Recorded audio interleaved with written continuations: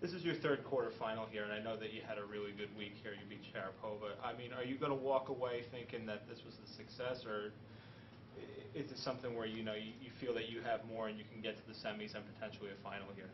Well, of course, I'm um, frustrating now about this match, but I'm happy about the, the week. I think um, when I get here in New York uh, was not a good moment for me. I was playing not my best tennis, and actually here I played uh, four match really well. Today was not that well, but uh, was much. I can tell you was much better than the.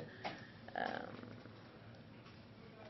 three or four weeks ago. So um, I improved my tennis. I play a good matches, so I can be happy for one side and I'm not happy for the other one.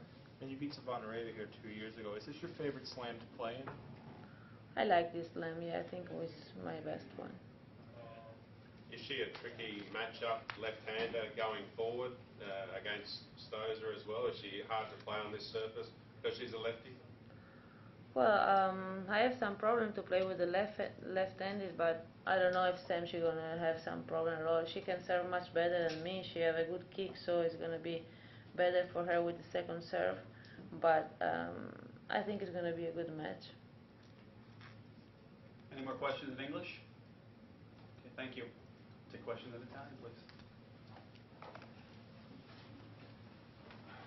Vai. Inizia?